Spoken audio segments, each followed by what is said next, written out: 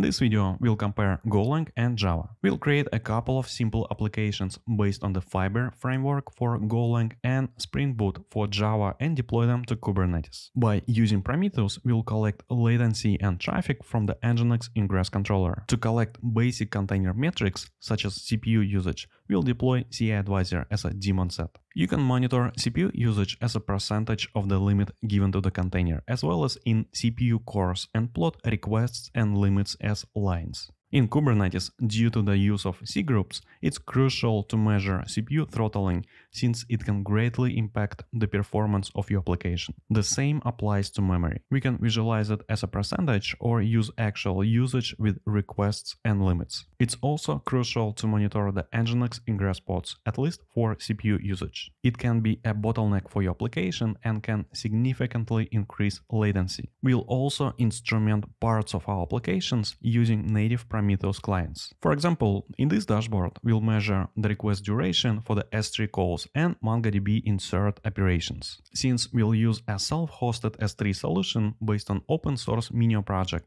I think it's a good idea to monitor it with Prometheus as well. We'll also deploy MongoDB to the Kubernetes and monitor it with Prometheus Exporter. These techniques can be useful not only for benchmarks but for day-to-day operations and you can find the source code in my GitHub repository. First, we'll create AWS VPC and EKS using Terraform. Now, to expose our applications within the VPC, we'll deploy a private Nginx ingress controller using Helm chart and Terraform. Then deploy Golang and Java applications to Kubernetes. For the first test, we simply use K6 load testing tool to compare side-by-side -side Fiber and Spring Boot applications. For the second, more realistic test, with every single request, we download image from S3 bucket and save the last modified date to the MongoDB database. Now, let's go over the code. First of all, you can find the Terraform code to create all the networking components and EKS in AWS environment. Then we have Prometheus and other monitoring components. For example, Minio is capable of producing Prometheus metrics out of the box. When to monitor MongoDB, we need to separately deploy Prometheus exporter. For the first test, we simply return 10 devices back to the client. Same in Java. Here I additionally included Prometheus counter variable,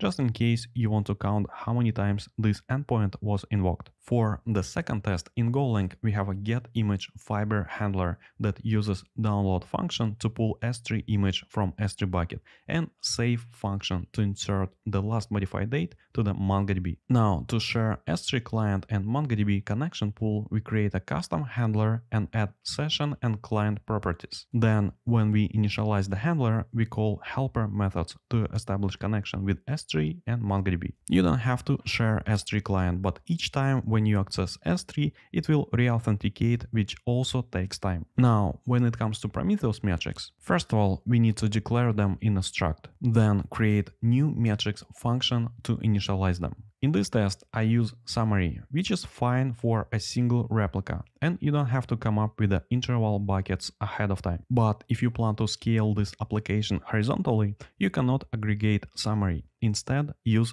histogram type. To record the observation, you can do it this way. Simply record the time before the function call and after. Or, of course, you can use a middleware pattern and wrap this function. It's up to you. When it comes to Java, you follow the same principle. Declare the metrics. In this case, I have S3 and MongoDB duration and use them to record observations. For Java, you need to add a few dependencies that allow you to use Prometheus metrics. To expose Prometheus endpoint, you can use application.yaml config or just manually in the code enable it using set property. Finally, let's go over the first test scenario. We'll start with one virtual user and slowly scale it to 100 users during the 5 minute interval. Then immediately increase the number of users to 500 and keep it for 5 minutes. Then after 5 minutes, scale users to 3000 till one of the applications fails. The second test is similar, we just reduce the number of clients and use a different endpoints. I also have to mention that Java now has container support and can get limits from the cgroup directly.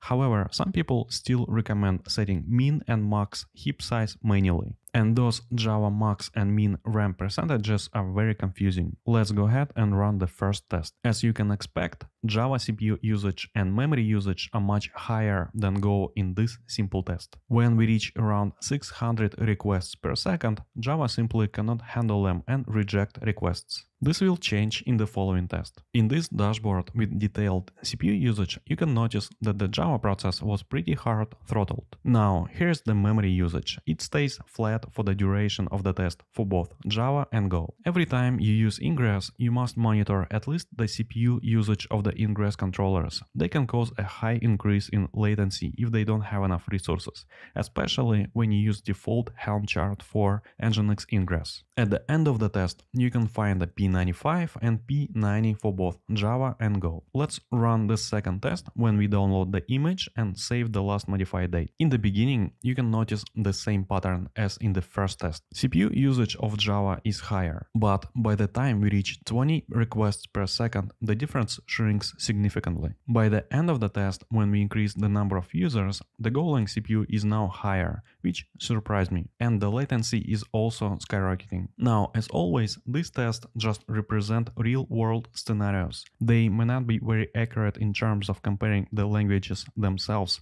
since we use lots of external libraries, but can show you real differences when you run your applications in production environments. From the DevOps perspective, it's much more important than Fibonacci tests. If you find any bugs, please let me know so I can fix them for the next videos. Thank you for watching and I'll see you in the next video.